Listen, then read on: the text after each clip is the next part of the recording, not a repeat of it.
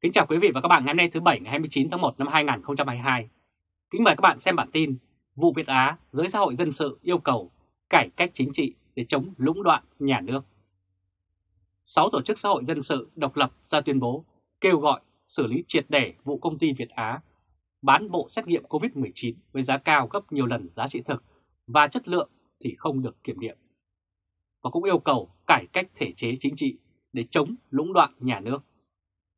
Hôm 27 tháng 1, một nhóm các tổ chức xã hội dân sự ở Việt Nam đồng soạn ra bản tuyên bố chung mang tên Tuyên bố về vụ Đại án Việt Á.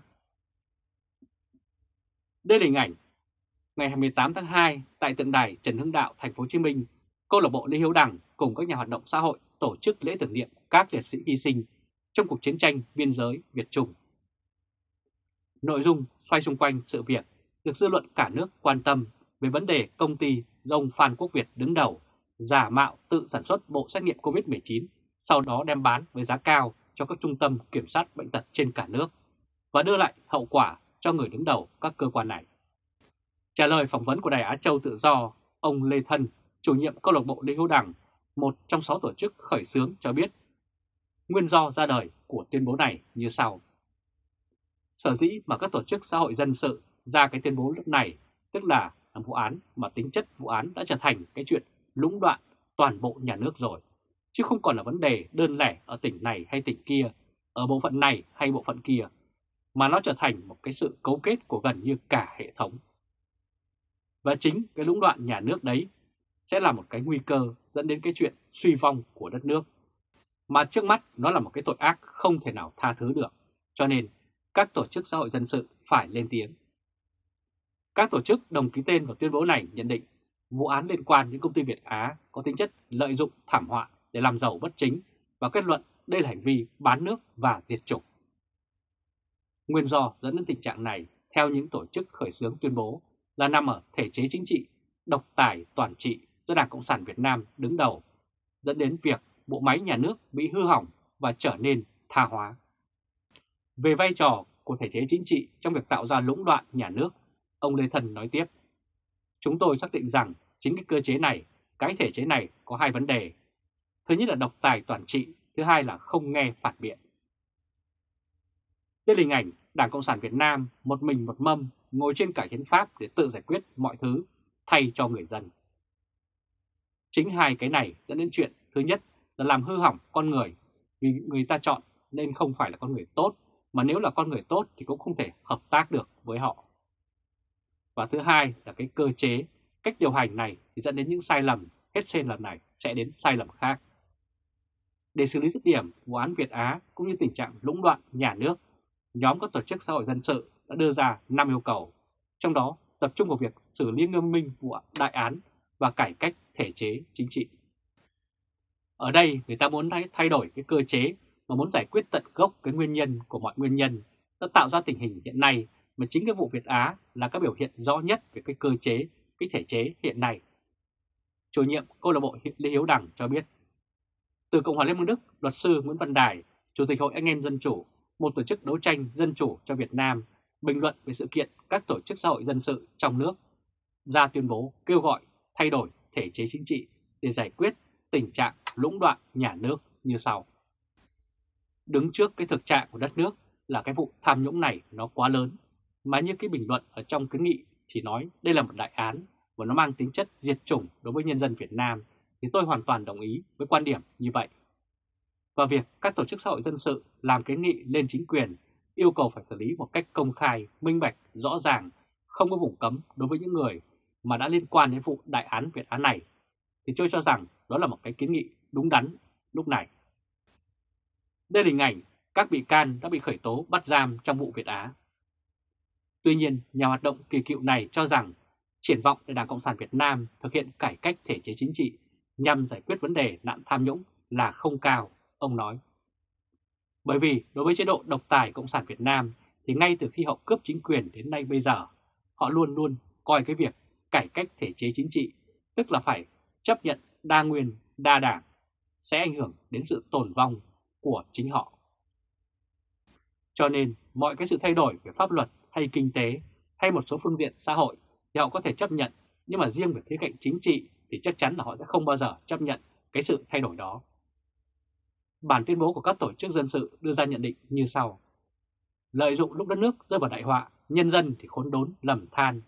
Một số tổ chức cá nhân trong và ngoài nước đã cấu kết chặt chẽ thành một liên minh có hệ thống để làm giàu bất chính bằng thủ đoạn gian dối, buôn lậu, đẩy nhân dân và đất nước chìm sâu trong thảm họa. Đó là hành vi mang tính bán nước, diệt chủng. Đây không chỉ là vụ án tham nhũng lớn mà còn là đại ác có 102 trên đất nước Việt Nam trong thế kỷ thứ 21. Các thế lực tham nhũng bất chấp mọi thủ đoạn đã hành động không chút kiêng rẻ như hối lộ công khai bằng phương thức chuyển khoản thay vì đưa lén bằng tiền mặt, cũng không còn mang tính chất riêng lẻ cục bộ mà đã hình thành tổ chức rất tinh vi, chặt chẽ, ăn sâu vào các bộ, các ngành trong hệ thống chính quyền. Để tham nhũng trục lợi bằng cách cướp thời cơ đồng loạt, hành động nhịp nhàng theo kế hoạch đã được hoạch định đến từng chi tiết. Đây là một kế hoạch tham nhũng cực lớn mang tầm võng lũng đoạn nhà nước. Đây là hình ảnh vào sáng ngày 5 tháng 3 năm 2021, Bộ Khoa học và Công nghệ tổ chức họp báo công bố bộ kit xét nghiệm của Việt Á phối hợp với Học viện Quân y. Thể chế độc tài toàn trị tạo thế độc quyền cho các cơ quan, tổ chức, nhà nước, trong khi đó lại chấn áp mọi tiếng nói phản biện của nhân dân và các giới nhân sĩ trí thức là nguyên nhân khiến cho mọi tầng lớp cán bộ nhà nước hình thành băng nhóm thông đồng nhau để xả xẻo tiền ngân sách, tức là tiền thuế của nhân dân đóng góp. Bản tuyên bố đưa ra đây yêu cầu như sau. Vụ Việt Á là tội ác tày trời của các nhóm lợi ích câu kết hình thành sự đỗng đoạn trong nhà nước rất nghiêm trọng, phải được coi là vụ, vụ trọng án, đặc biệt và rất đặc biệt. Đảng Cộng sản Việt Nam tổ chức tự cho mình quyền lãnh đạo tuyệt đối toàn diện đất nước, phải có báo cáo chuyên đề trước toàn đảng, toàn dân về biến cố mang tính chính trị nghiêm trọng này. Phải công khai hóa mọi sự kiện liên quan đến vụ việc test kit COVID-19 của Việt Á, công khai trả lời nhân dân nguồn gốc xuất xứ, nhất là chất lượng thực sự của nó ra sao. Vì sao kết quả của một nghiên cứu khoa học do nhà nước đứng đầu, đầu tư lại được giao cho một công ty tư nhân nhỏ bé đưa vào sản xuất kiếm lời riêng như vậy? Và vì sao sản phẩm này được vội vã công nhận và tạo mọi lợi thế dẫn đến độc quyền lưu hành toàn quốc với giá cao phi lý? Đây là hình ảnh tờ báo của chính phủ Việt Nam ca ngợi Việt Á với bài viết ưu điểm vượt trội của bộ kit xét nghiệm COVID-19 Made in Việt Nam. Truy cứu trách nhiệm và xử lý theo đúng quy định của pháp luật mọi cá nhân, tổ chức liên quan, đặc biệt là Bộ Khoa học và Công nghệ, Bộ Y tế, Học viện Quân y, Bộ Thông tin và Truyền thông, Văn phòng Chủ tịch nước, Cơ quan Kiểm soát Dịch bệnh CDC và các bệnh viện của 62 tỉnh thành trên cả nước. Việc truy cứu trách nhiệm và truy cứu tội phạm phải được thực hành một cách thật sự nghiêm minh, không có vùng cấm, không có vùng tránh, không kiêng nể cấp cao nhất. Giải quyết tận gốc vấn đề bằng việc khẩn trương cải cách thể chế chính trị, không chỉ loay hoay đốt lò trên ngọn như lâu nay. Nếu không, bọn tham nhũng vẫn sẽ tiếp tục hoành hành bằng đủ mọi loại mưu ma trước quỷ, biến hóa thiên hình vạn trạng, sớm muộn cũng dẫn đến ngày tàn của chế độ và đẩy đất nước và con người vào con đường diệt vong. Trước đó vào hôm 16 tháng 1, kênh truyền hình của Thông tấn xã Việt Nam cho phát chương trình nhận diện với tiêu đề đập tan các luận điệu xuyên tạc chống phá đảng, nhà nước xung quanh vụ Việt Á.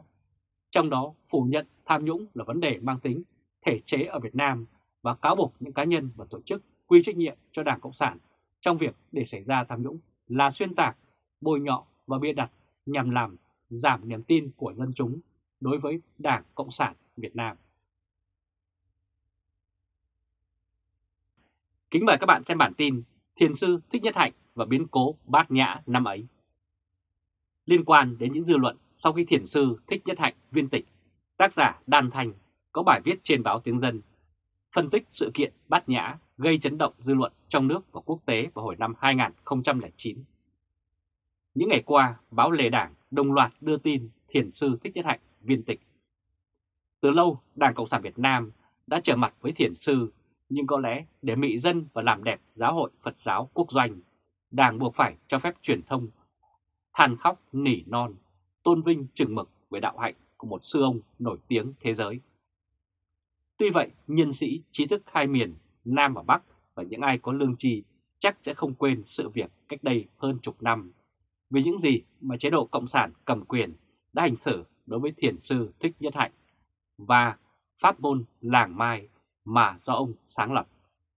Pháp nạn tu Việt Bát Nhã Sau khi Thượng tọa Thích Đức Nghi xin hiến chùa cho Thiền sư Thích nhất Hạnh để truyền dạy pháp môn làng mai ở Việt Nam, chùa Bát Nhã được mở rộng làm nơi tụ tập cho môn sinh theo pháp môn làng mai tu học từ năm 2005. Đây là hình ảnh Thượng tọa Thích Đức Nghi. Đến giữa năm 2008, trụ trì chùa Bát Nhã là Thượng tọa Thích Đức Nghi bị nhà cầm quyền gây sức ép buộc rút lại bảo lãnh. Trước đó, đồng nghĩa với việc từ chối các môn sinh làm mai tu học ở đây để rồi sóng gió ập lên đầu môn đồ của cửa Phật. Vì đâu mà nhà nước Cộng sản Việt Nam đã phải quay 180 độ, trong khi trước đó các lãnh đạo cấp cao của Đảng như Chủ tịch nước, Thủ tướng Chính phủ vân vân đã từng hoan nghênh chào đón hội kiến cùng thiền sư Thích Nhất Hạnh và cho phép phát môn làm mai hoạt động ở Đà Lạt, Lâm Đồng. Mọi người đều biết rằng thể chế Cộng sản, đương quyền luôn quản lý, siết chặt tôn giáo, hòng phục vụ cho việc cai trị của họ. Đảng đẻ ra ban tôn giáo chính phủ, thực chất là cơ quan mật vụ do một tướng công an cầm đầu phụ trách. Vu khống, chụp mũ, bôi bẩn là những thủ đoạn mà công an, tuyên giáo và bộ máy tuyên truyền thường sử dụng để quy kết, nhục mạ bất cứ những ai dám lên tiếng tranh đấu cho tự do tín ngưỡng, dân chủ và phẩm giá con người. Quay lại biến cố chùa Bát Nhã vào năm 2009, gần 400 tu sĩ và môn học sinh tu học tại đây đã bị chính quyền địa phương ra lệnh trục xuất khỏi tu viện với lý do hết sức mập mờ. Công an và chính quyền sở tại đã sử dụng côn đồ, đầu gấu, đóng giả môn sinh làng mai, trà trộn, gây kích động bạo lực, tấn công tu sĩ chùa Bát Nhã và đập phá tu viện. Đây là hình ảnh trong các vụ gây rối luôn có mặt những người công an mặc thường phục. Chưa hết công an chìm còn gây xáo trộn hiểm khích giữa tu sĩ pháp môn làng mai và tăng ni Phật tử chùa Bát Nhã thuộc giáo hội Phật giáo Lâm Đồng để đổ lỗi cho bạo động từ mâu thuẫn nội bộ của môn sinh làng mai và tăng ni Phật tử chùa Bát Nhã. Suốt 3 tháng, từ tháng 6 cho đến tháng 9 năm 2009, tu sĩ và môn sinh liên tục bị gây khó khăn và sách nhiễu như bị cắt điện nước, ngăn cản tiếp tế lương thực, đe dọa khủng bố, phá nơi thờ cúng và chỗ ở, lấy cắp đồ thờ cúng, tư trang và hành hung các tu sĩ và tu sinh bị đuổi ra khỏi tu viện. Mọi kêu cứu đều vô vọng khi chính quyền và công an đều nhắm mắt làm ngơ. Toàn bộ gần 400 tu sĩ, tu sinh, pháp môn làm mai bị đuổi hết ra khỏi chùa rồi chạy nạn lánh sang chùa Phước Huệ, thị xã Bảo Lộc tạm trú. Vẫn không yên, lực lượng công an đã bao vây chùa Phước Huệ và giáo giết đuổi họ, đánh họ, buộc họ phải ra khỏi chùa. Công an ép các tu sinh lên xe trở về địa phương cư trú. Ở Trung ương, Bộ Ngoại giao ra công hàm trục xuất những người có quốc tịch nước ngoài ra khỏi Việt Nam.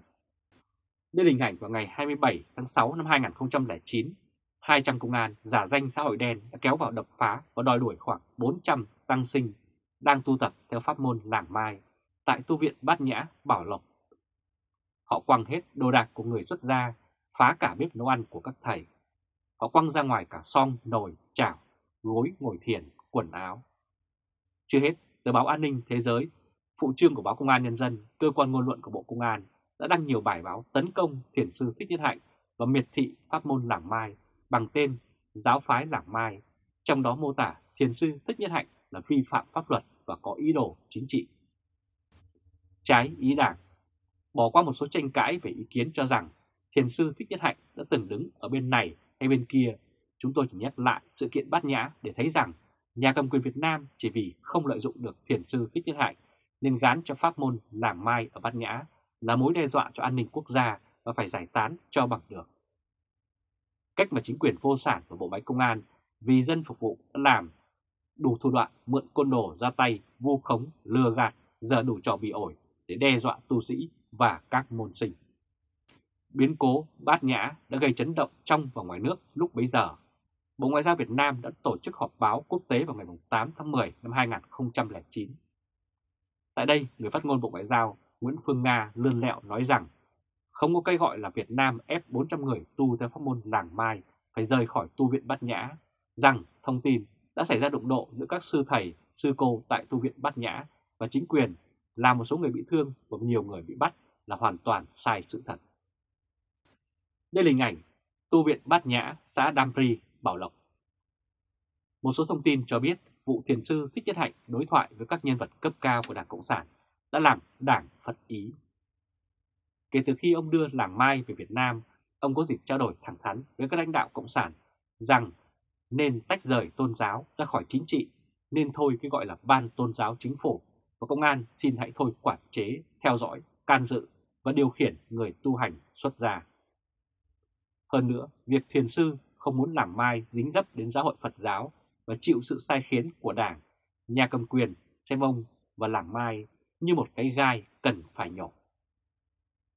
Ngoài ra, sự kiện cầu siêu vào ngày 16 tháng 3 năm 2007 tại Chùa Vĩnh Nghiêm khi Đảng Cộng sản Việt Nam thông qua Hòa Thượng Thích Trí Quảng, trưởng ban trị sự Giáo hội Phật giáo Thành phố Hồ Chí Minh, nay đang giữ chức quyền pháp chủ Giáo hội Phật giáo Trung ương, truyền đạt yêu cầu thiền sư Thích Nhất Hạnh biết nội dung buổi lễ cầu siêu dành cho những liệt sĩ hy sinh trong cuộc chiến chống Pháp và chống Mỹ. Tuy nhiên, cả ba buổi cầu siêu tại đây, thiền sư vẫn giữ quan điểm cầu nguyện cho mọi nạn nhân đã thiệt mạng vô duyên cớ trong chiến tranh, trong đó có cả các binh sĩ Mỹ, binh sĩ Việt Nam Cộng Hòa và cả tù nhân bị cải tạo và thuyền nhân vượt biên bỏ mạng. Đây là hình ảnh thiền sư Thích Nhất Hạnh tại lễ cầu siêu kéo dài 3 ngày cho những người đã bỏ mạng trong chiến tranh Việt Nam tại ngôi chùa ở ngoại thành Hà Nội vào hôm 20 tháng 4 năm 2007. Trước khi lên máy bay cùng tăng thân làm mai rời Việt Nam về Pháp,